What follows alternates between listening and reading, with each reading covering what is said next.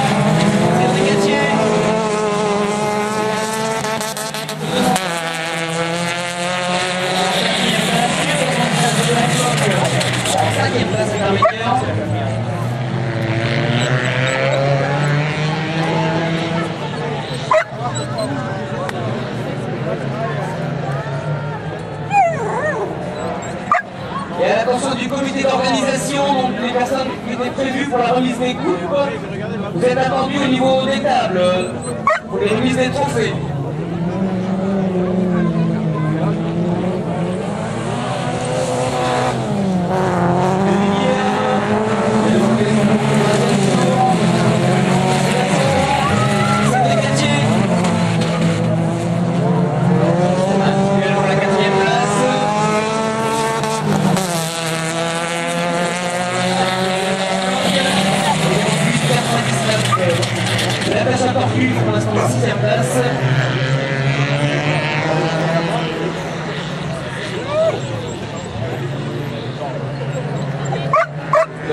quatrième circuit.